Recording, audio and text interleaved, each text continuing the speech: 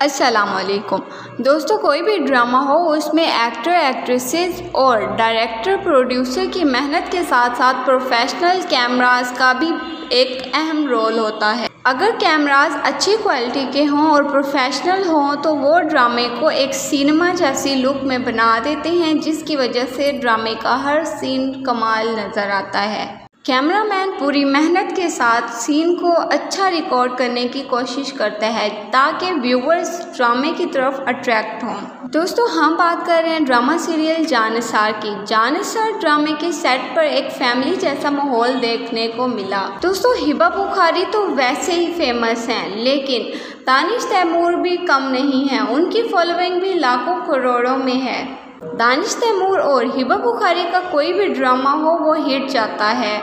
इसी वजह से दानिश तैमूर और हिबा बुखारी को कोई ना कोई साल में एक ऐसा प्रोजेक्ट ज़रूर मिलता है, जिसमें ये दोनों इकट्ठे काम करते हैं और इनका वो प्रोजेक्ट हंड्रेड परसेंट वायरल जाता है, जैसे कि जानसार ड्रामा। जानसार ड्रामे को बहुत ही ज़्यादा पसंद किया जा रहा है। ये ना सिर्फ़ पाकिस्तान, बल्कि पूरी दुनिया में बहुत मकबूलियत हासिल कर रहा है। इसकी व्यूवरशिप मिलियंस में है।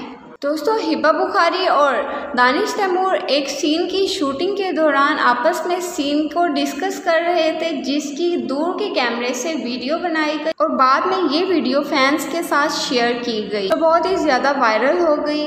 दोस्तों हिबा बुखारी इतनी फ़ेमस एक्ट्रेस हैं कि इनके एक टाइम में कई कई प्रोजेक्ट्स चल रहे होते हैं। सो so, ये थी हमारी आज की वीडियो वीडियो अच्छी लगी हो तो मज़ीद इंटरटेनिंग वीडियोस के लिए हमारे यूट्यूब चैनल को सब्सक्राइब करें। शुक्रिया।